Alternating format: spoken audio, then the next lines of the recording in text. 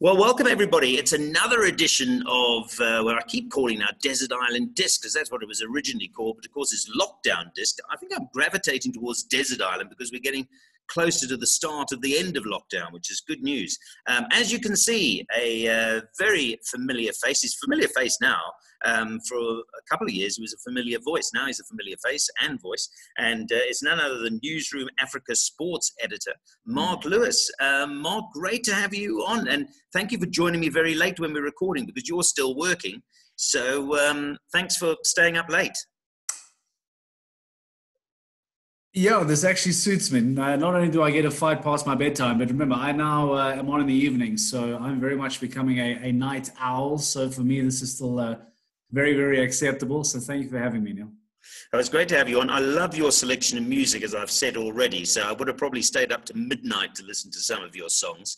I must tell folks, because they've seen in some of the lockdowns, I've had kids that have appeared, my kids. You're not going to see anything but Marc Lewis's Cats coming in, and I don't mean songs from the um, from the musical Cats. I mean real cats. You've got three, eh? Which are exciting because I'm also a cat yes. person.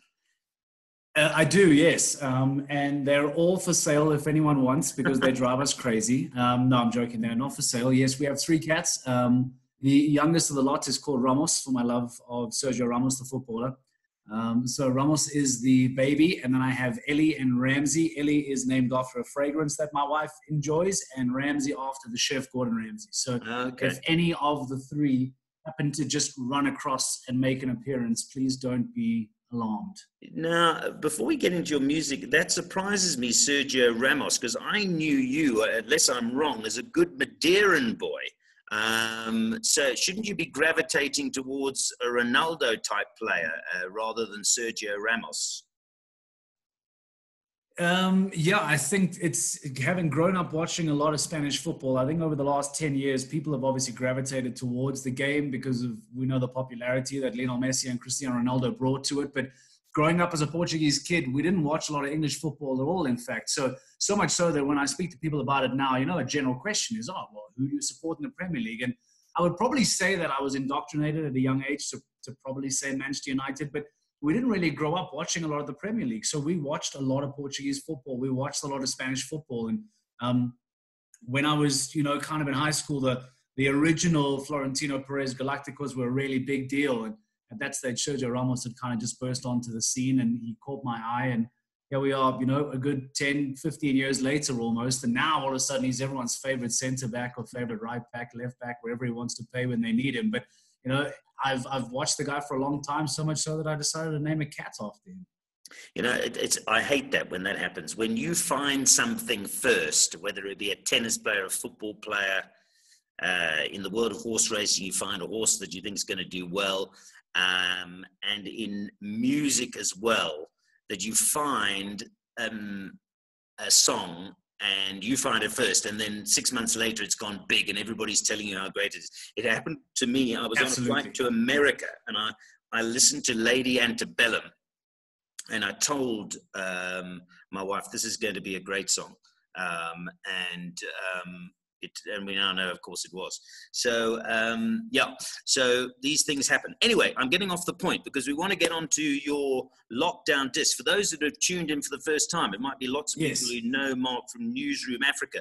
Basically, I've given him the sentence to be locked down on his own, but he gets to take five songs with him, two movies and a book, and he's come up with his five selections. So, a great song to come up with. You've gone for the Canadian artist Bryan Adams, Marc, as your first track.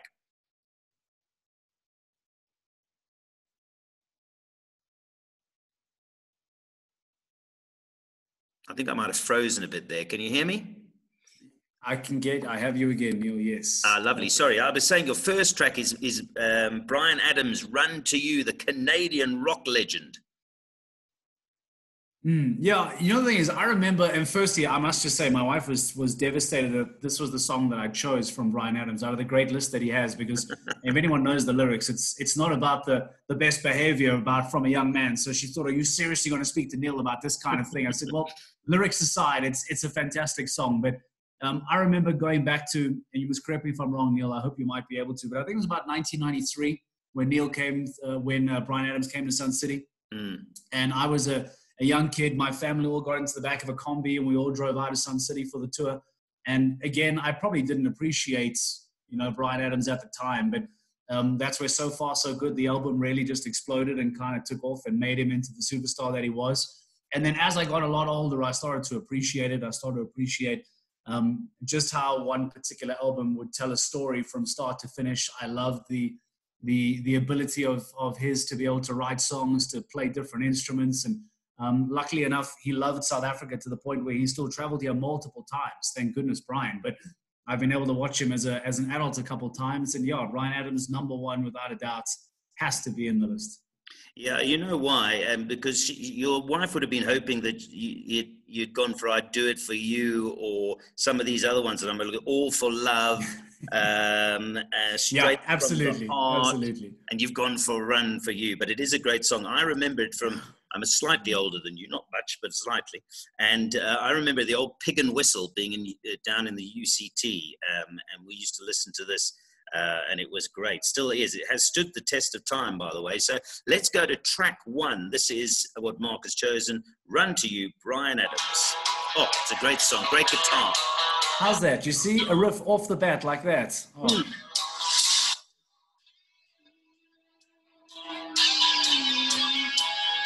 I told you I'd enjoy your music.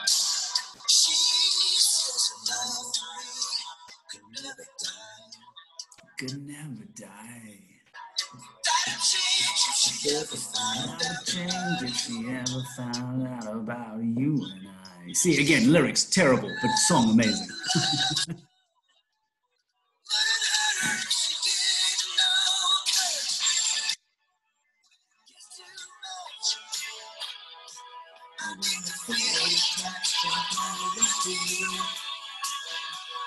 How good is that? You see, oh, so that would probably actually be number one on the list. You know that that would probably actually be number one. I mean, I don't know if we meant to rate these things in order, but that really, really would be my. If you had to tell me you'd like to take one song on this whole trip, that would be the song that I would take you. Know, I don't know if your wife's listening, but you're digging your grave deeper and deeper. You should have said it's your last choice that you're taking. But it I is a understand. terrible song. It's off the list. Um, the thing is, it's interesting having done a lot of these already now. People want to take a mixture. You can't take five melancholy songs because you'll end up uh, topping yourself while you're in uh, lockdown, which is not the ideal result for any of us. So, um, what you want to do is take an upbeat song, and that certainly is that. Okay, so Bryan Adams was your number one choice. I'm trying to remember in which yeah. order you gave them to me. I think you went for for Michael Jackson second, eh? Yeah, uh, again, I, I, probably missed a lot of the Michael Jackson thriller craze because I wasn't old enough. But I remember clearly, clearly when History came out. Um, and I remember that one album cover that had him in the big gold statue on the on the, the front cover. Um, and, and that History album for me, especially at that particular age where Michael was the, the biggest thing on the planet. He had come off all the back of, of, of Quincy Jones's success and, and thriller and everything else. And and, you know, by the time he got to history in the early 90s, like that was just enormous. So, whilst this song is obviously not off the, the history album, it's the original thriller that we all know. I think that album kind of allowed me to look into what Michael was. Um, and I, I, went as far back as going to Ben and ABCs, you know, but I, I think there's no denying that you can't have a, a music list in my mind and, and not have Michael Jackson on it. And then if you ask me, it's a really tight tie between Dirty Diana and Thriller, but at the end of the day, Thriller has to win that. Yeah. Well, you would have been divorced if you'd gone for Dirty Diana on the back of Run for Me. So it's a wise, safe choice, I would imagine. Um, um, Adams, your wife is, will be pleased to know there are more her songs coming up, or maybe not. I don't know. You got Under Pressure. Yes, they are. They are good songs. Yes. um, well, let's listen to Mark. He needs no introduction, but you're right about some of the old stuff. It's interesting that you went back as far as Ben because, um, yeah, that was mm. one of his first ones. I, I, first got introduced with the Off the Wall album, which, as you say, Quincy mm. Jones, mm. just unbelievable. And the truth of the matter is, like many who have done uh, locked down discs with me, you're all choosing not so much songs, but artists. So you listen, Bryan Adams, you hear whatever song he sings, you can hear it's Bryan Adams. And obviously, uh, there's yeah. only one Michael Jackson. So let's listen to Michael Jackson and Thriller. I'm actually going to start it again. Here we go. that was. Here we go, Michael Jackson. No, that's a different one. Yeah. that was Greyson Chance, by the way, that sneaked in there. For those that really know their music and can pick up. This, on the other hand, is the one and only It's wholly a movie. Michael Jackson. It's not funny.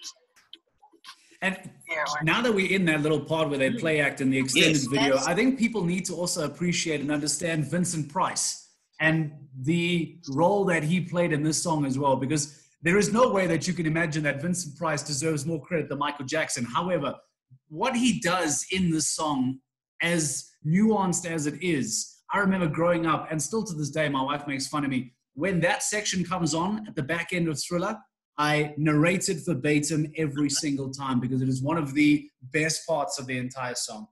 Yeah, no, no, I agree with you. That is for sure. Um, I'm just trying to get to a part where we'll all recognize. The problem is, I mean, this was the shortened version. Can you imagine if I downloaded the 15 minute video? We, we could fill the. There we go. There you go.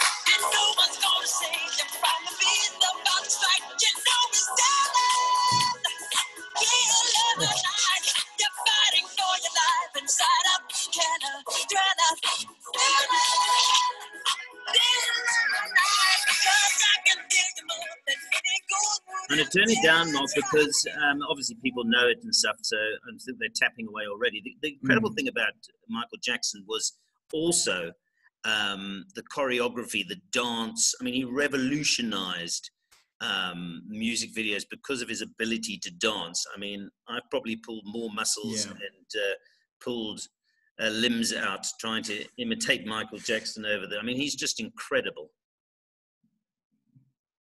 Mm. We speak about Bryan being a full package, but I mean, again, Michael was just something else. And I know that his his death was so untimely because he was just about to come out of a massive tour at the O2 Arena as well. It was meant to be that big return of Michael Jackson. So I think it was such a loss that arguably this current generation or a much younger generation, some would argue that probably wasn't the same kind of Michael, but nonetheless, that this current generation wouldn't have had the opportunity to watch Michael Jackson live. So, um, and again, funny story about that. I remember being on air when Michael Jackson died. Um, still very much a, a junior radio jock. I was doing some silly overnight shift. Um, I remember it being very, very early hours of the morning here in South Africa. The news kind of broke. Um, I remember running out and speaking to the late Ian Crew. God bless him.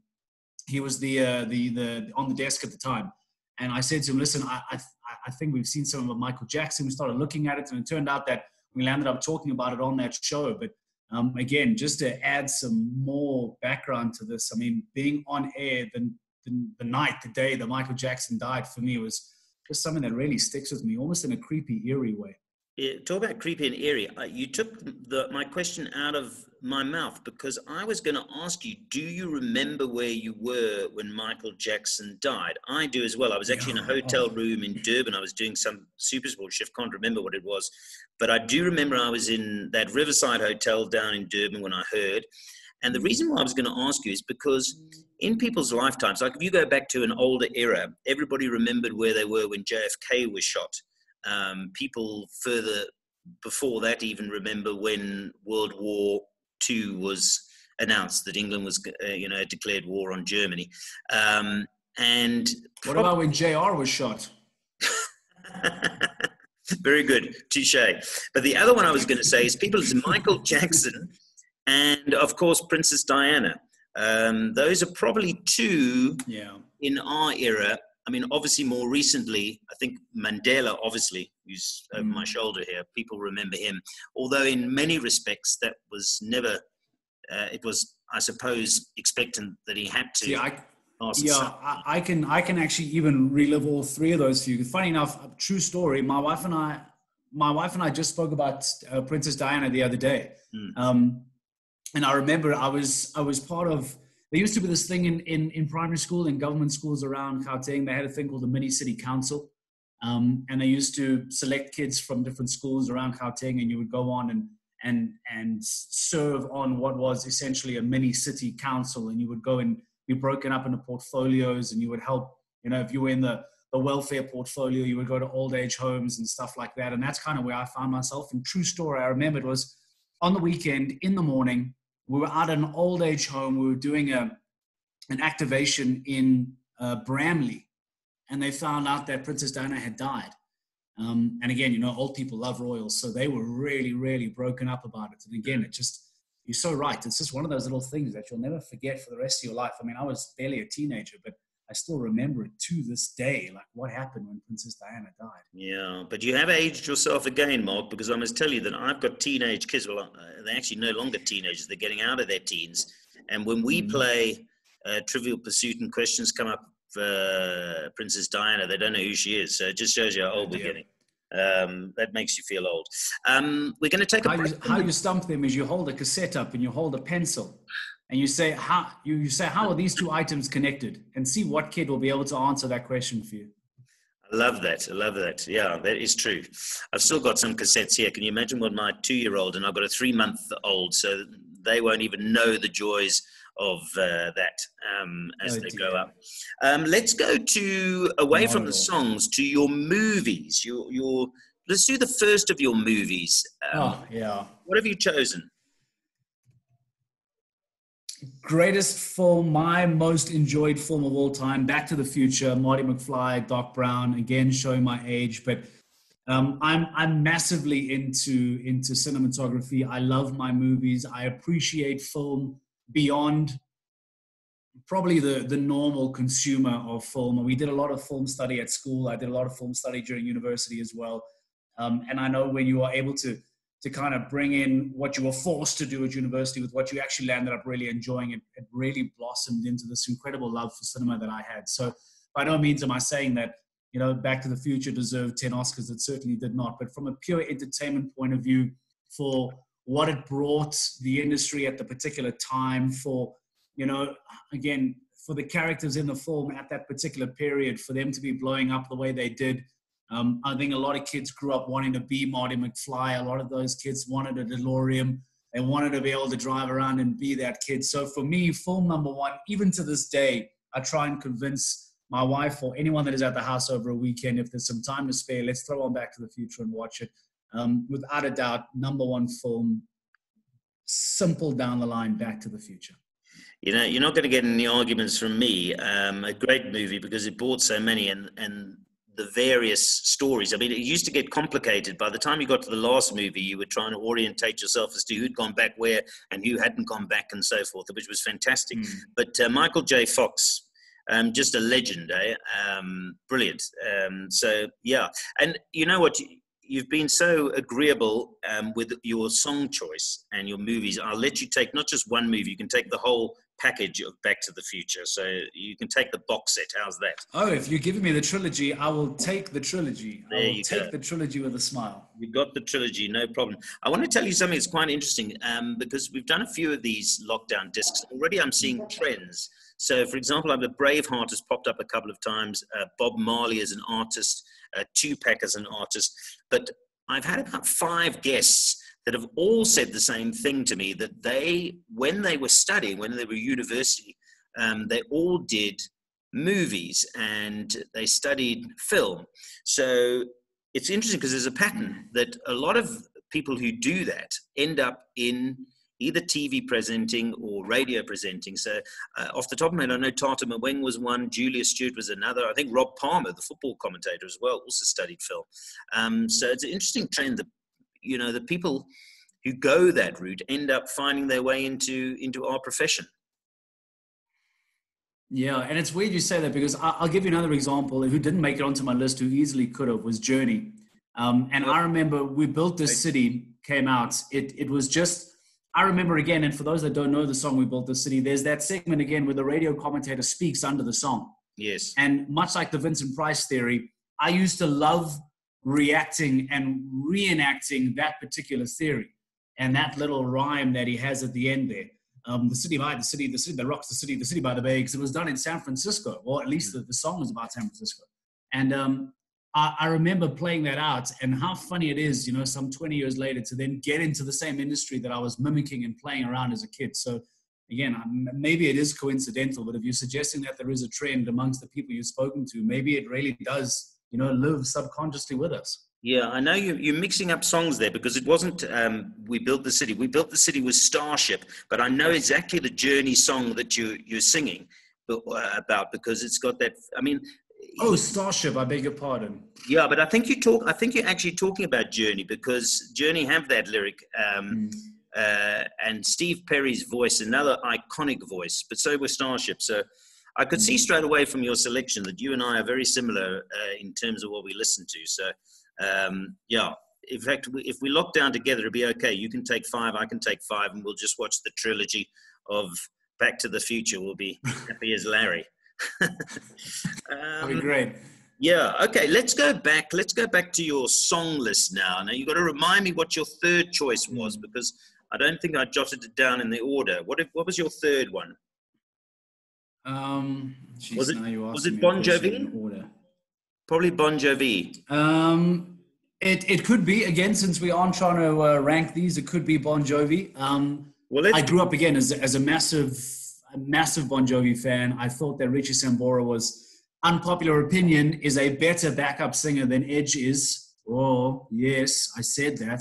So that's a big claim in my mind. Um, so I think a lot of people feel feel that you know the Edge is the greatest backup singer of all time. But Richie Sambora for me was was outstanding. And the fact that he played the guitar the way he did, and in particular in Wanted Dead or Alive, at the back end of the song where Richie comes in, um, I think he actually almost steals the show from John. Um, but again, Bon Jovi were just outstanding from the, the the bubblegum pop from the going into the 90s. I remember the Crush album of 2000s. It was just absolutely brilliant. And that song for me was was again the the lyrics, the tone, how they wrote it, the video that went with it as well was just outstanding. Neil. Okay. Well, let's take a listen to um, Bon Jovi, "Wanted Dead or Alive." Let's go. This also comes from the video, but it's very distinctive. Oh,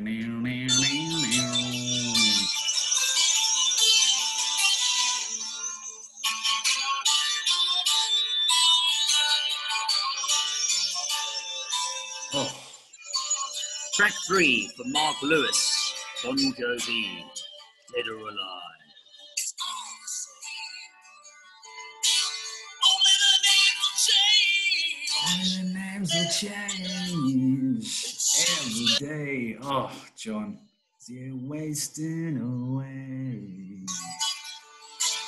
Faces are so cold. Faces are so cold. I drive all night just to get Ah. And how distinctive is his voice as well, John? Oh, he is just outstanding.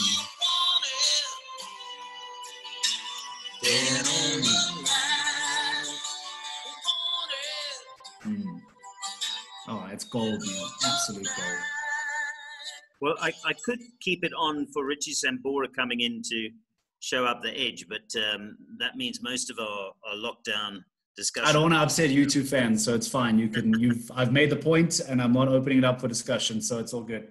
Another very distinctive sound. So, so far, um, if you've uh, come in a little bit late, uh, which you shouldn't because you should be downloading, so hopefully you haven't got to pop the kettle on. We've had um, Bryan Adams, very distinctive voice. We've had Michael Jackson, who needs no introduction. We've had Bon Jovi, um, who likewise a, a singular sound. Um, had I asked you for your second movie? I hadn't yet, eh? Your first movie, No, you haven't. No. Back to the Future. What was your second movie?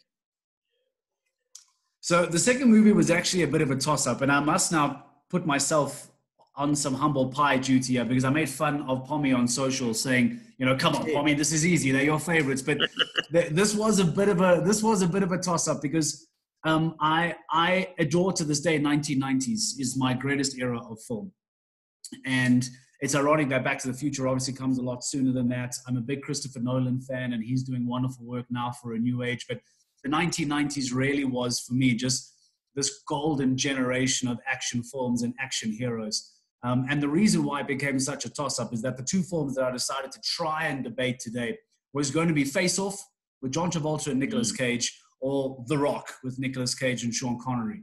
Um, again, no surprises that Nick Cage features a lot in a lot of what I try and watch, but I feel that as as good as Face Off was, I thought Sean in The Rock just changed it and just gave it that extra boost. So second film to go without a doubt, mid '90s action classic, Nick Cage, Sean Connery, and when he rolls under the flames, Neil, and stands up and slams open that door. Welcome to the rock. It is just, it is spine chilling to this day. Yeah, you're actually giving me goose flesh. And it's one of those things, you know, I've had great fun doing this series and I continue to do it because what it does is it reminds me of movies that I've got. I've got quite a, a, a collection um, of movies here. But the thing is that there's so many of them that I, I literally haven't watched some of them for a decade.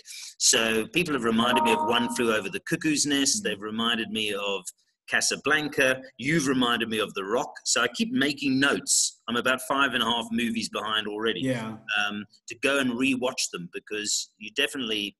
And the older you get, I think, same with music, you appreciate the music, the lyric in particular, um, Mm. multiple times and better the older you get. See, it. Yeah, that as I, I want to go back to that 1990s thing because you can go as early as as 1992 with Harrison Ford in in in the client, and then go all the way through from Air Force One, Bad Boys One, The Rock, Face Off, um, Titanic in '98. I mean that that particular phase there of of that mid '90s films. I mean, it was just for me as as I say an absolute golden era and on my my my playlist in a lot of what we search for on Netflix and stuff like that. It is very much 90s. I want to try and pick up as much of that as possible. Anything with uh, you know Harrison Ford, Sean Connery, Will Smith, uh, Denzel Washington, uh, stuff like that for me. Nick Cage, John Travolta. I could just play on loop every single day. Yeah, I mean, um, we had last. I think it was last night. Someone was talking to me about Denzel Washington. I think it was um, either O'Connor or Odwa, who were big Denzel Washington fans, um, and I had to agree with them. We went through all of those great movies. Um, Fallen. Well, he, I mean, every movie that he generally did was a success. Quick question, of course: If they had to re- make a remake now, imagine what would happen if they put Dwayne Johnson as the lead in The Rock. I mean, it would be confusing as hell.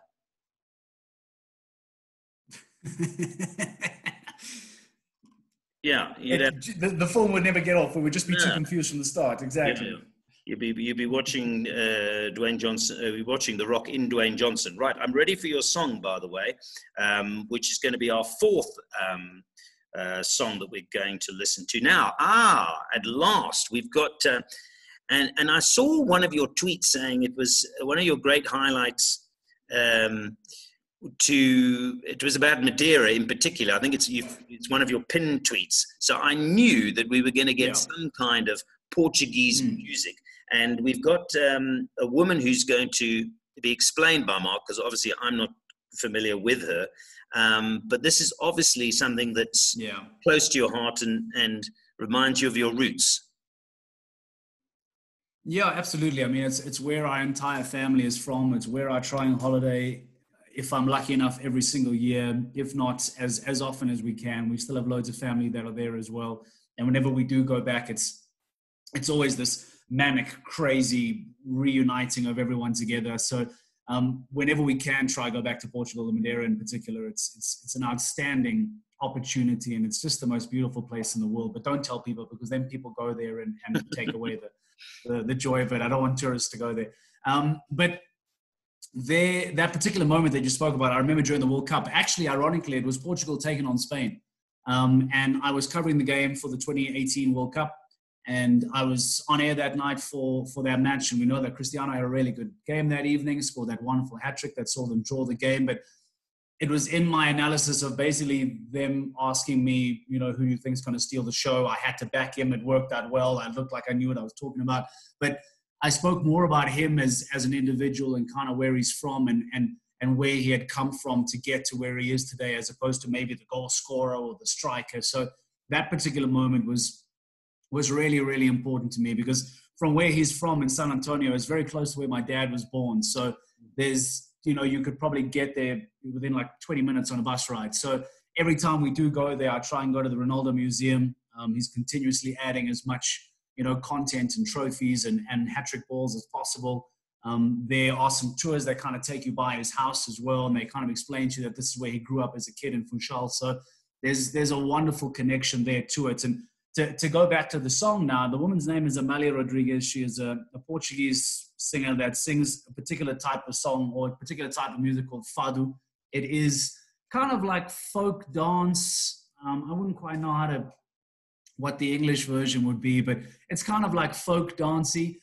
Um, and I imagine on a South African ear, it's probably a little bit difficult. They might describe it as kind of whiny, the tone. But again, it's this. We spoke about lyrics earlier on and how important it is to to to read in between the lines. And if you if you take a listen to the emotion that she uses to mm. deliver it, it kind of reminds me of a, a Luciano Pavarotti and Andrea Bocelli, where you may not have to understand what they're saying, but to hear where it comes from, it, it really just takes you to a different place. And we were in Porto last year, December, for Christmas, and we landed up going to one of the um, the port cellars there, and we landed up watching a live Fado show while they brought port to you. And to combine all of those factors, Neil, to, to be in Portugal, drinking port, listening to Fado, I want you to play this woman and just try if you can and listen to where you know the soul comes from when she sings. Well, two things. First of all, I didn't find her whiny in the slightest. In fact, I, I could hear straight away why. Oh, cool, cool.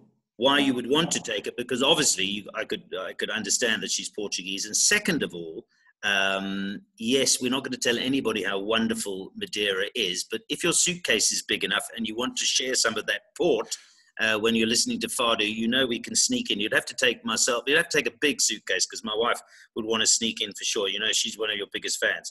So um, let's listen to hmm. Fado Portuguese uh, from Amalia, ne? Amalia. That's the one, yes. Love the guitar, by the way. So again, very folklore, as I say, very you know traditional instruments. There's no electric guitars, no bass guitars in this kind of a sound um, generally done in kind of dark basements. That kind of you know is the the setting, very low lights, deep on the mic. That's how she comes.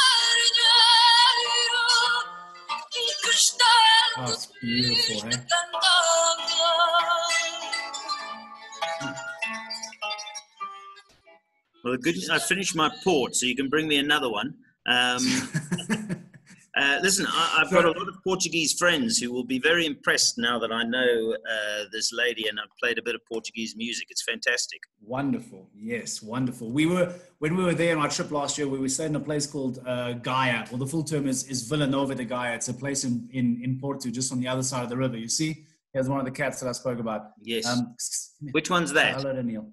Is that Sergio? So this is Ramsey. This is Ramsey that is named after Gordon Ramsay, my little blue-eyed boy. He's beautiful. Here we are. Yes, thank you. He is great. Whoopsie. Okay, off you go.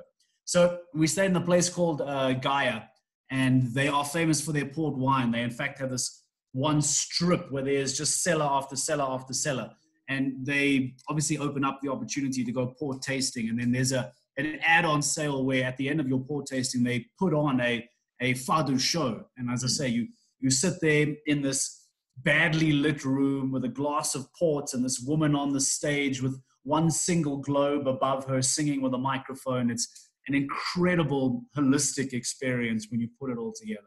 Right. Well, we'll put it on our bucket list, um, but obviously we're going to need a few restrictions to be lifted before we can go. Uh, fingers crossed that that's yeah. going to happen. But I need to speed it up a little bit um, because we've only got a couple of uh, uh, minutes left. So, quickly, the book. What book mm. did you take, Marc?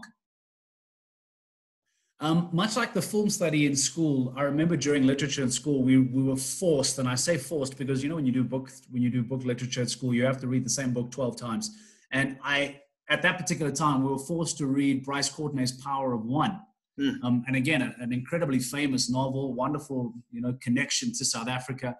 Um, and again, at the time, I probably didn't appreciate the the the South African feel to it because we probably would have wanted to read some you know American thing, some Hollywood blockbuster book. I don't know Michael Crichton's Lost World. Who knows? But as I then got older and reread the book outside of the pressures of book study, I actually then started to really appreciate it and start to kind of realize that it wasn't just this irritating thing we had to do during school. That it was incredibly well written. And nowadays I read a lot more you know, soft fictional kind of novels. I'm a big James Patterson fan. I'll read a lot of that. David Grisham will obviously creep in every now and again. David Baldacci as well. But I mean, that particular book is one way, if and when I have a lot of time and will go on a holiday, I could more than happily take and, and reread for the upteens time. Because I think also with age and a lot more knowledge about South Africa and background to South Africa, mm-hmm. I probably pick up a lot more nuance as well, where I maybe would have lost that as a teenager. So, uh, yeah, Bryce Courtenay Power of One was was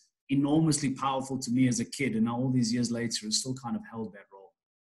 Do you think people, South Africans, are reading more um, during lockdown? I wonder. I mean, I know I'm not, but uh, I've got my excuses because we've got a six-year-old, a two-year, a two-year-old, and a three-month-old. So um, the only thing I'm reading is um, dinosaur books and Barney.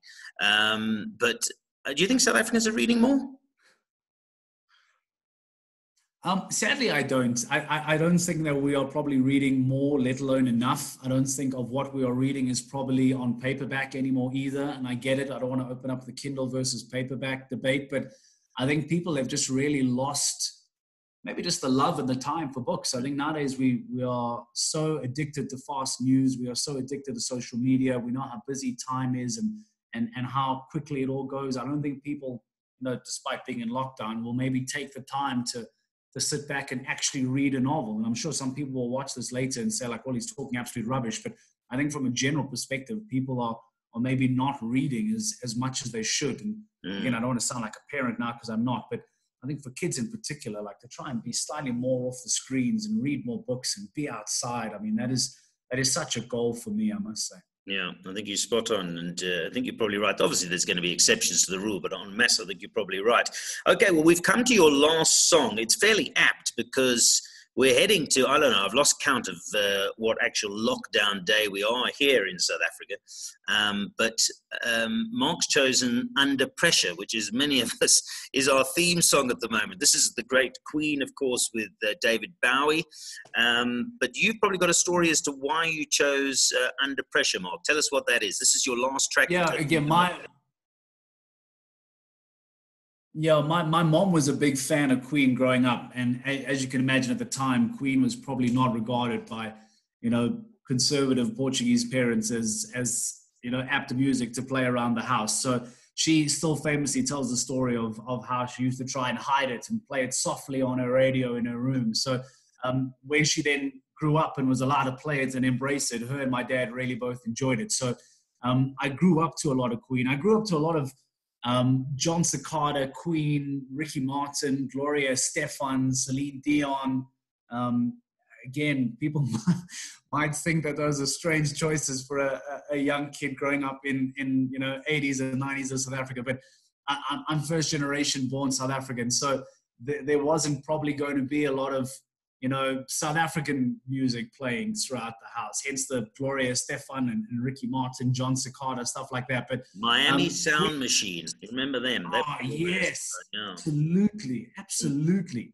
um, and I had a big crush on Gloria Estefan when I was growing up as well. By the way, she had that short red hair bob. Don't ask me why. I, I, remember that now, but I remember she had the short red hair bob and the big hoop earrings, and I had a massive crush on her. So, um, yeah, I, I, remember my mom would then play a lot of Queen on the weekends, and and again at the time I probably didn't appreciate Freddie Mercury and what he did. I think a lot of kids that have now been given the opportunity to watch Bohemian Rhapsody were maybe given a, a wonderful show into what is the you know the background of his life was and he too being you know the, the, the son of, of, of immigrant parents and trying to break out of the mold. So i just found it very you know relatable. And of course it was absolutely outstanding too. So if you can make something brilliant and relatable it's definitely going to sit with you for a long long time. And i think a lot of people will agree that the biggest shame was just you know how how early freddie mercury died and how many more years of incredible hits he could have perhaps churned out you know whether it be solo or with his band. But yeah, Queen under pressure with uh, David Bowie, absolutely. Well, here it is, and it is a distinct sound. The moment you hear it, you know the song. Which you would. Ah, oh, there we go. Say it was late in starting, but here it is. And this don't forget, this was so popular that Vanilla Ice tried to not steal this. Yeah, Vanilla Ice tried to not steal this and say it was his own. And I even remember listening to a, uh, watching a documentary where he said, "Theirs goes din din din din din din, and I wrote mine as din din din din din din din, and I was like, come on, man, like you're killing me here, but. It, it just showed the wonderful reach and the effect, and, and again, I think I think Bowie on this is outstanding too. We spoke about Edge and Richie Sambora. By no means is he background, but the way he compliments Freddie Mercury on this is incredible.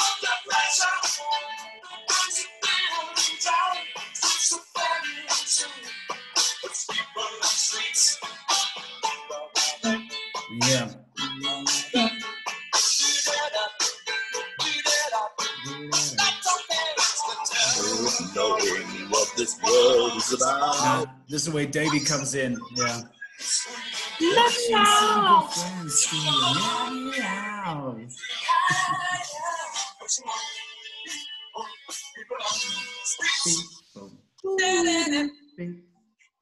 Yeah, it's a very good choice for for How lockdown, good is that, I must Neil? say. Um, whether you did or didn't choose it, Yeah, that is very true. it fits uh, perfectly. We're all under pressure, and I want to end off. We run out of time, Marc, but thank you very much for your time. Um, just to close out, because I know we see you working at Newzroom Afrika, which is fantastic. I know you're the sports editor there. I know you're busy, so I appreciate you taking time out.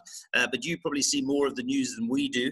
Um, and maybe you're well positioned to just Mm. give your advice and suggestions to uh, the South African public and indeed everyone in the world, just to follow instructions, keep yourself safe, um, practice social distancing, because in the end, we're going to keep the community safe.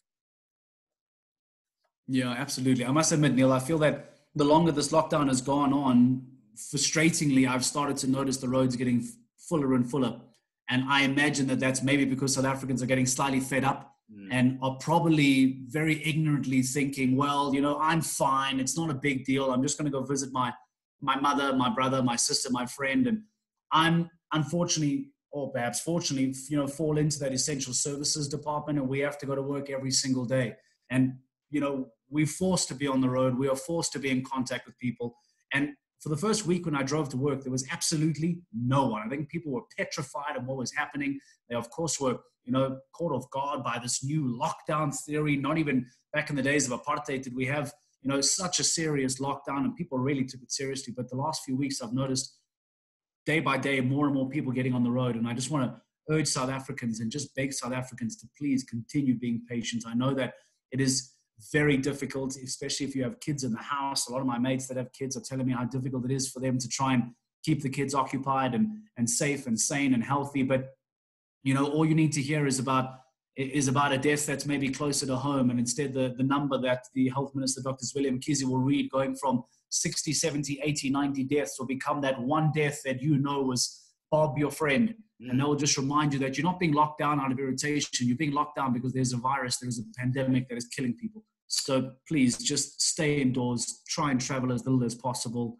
Stay hygienic, stay cleaning your hands, face masks, the works, because if we don't do it now, we're going to suffer like this for a lot longer in the future. Whereas if we can just lock it down now, allow this level four to become a three, two, and one, we can welcome sport back onto our screens. We can go back to going out with friends and family. So just try and remain as patient as, you can. Marc Lewis, thank you very much. Newzroom Afrika sports editor, of course, uh, giving us some solid advice and most importantly, sharing us his uh, five songs, two movies, and a book. It's been lots of fun. I knew it would be. Marc, stay safe, stay strong, and thanks for joining me. Uh, Neil, it's been an absolute pleasure. Thank you, man. I really appreciate it.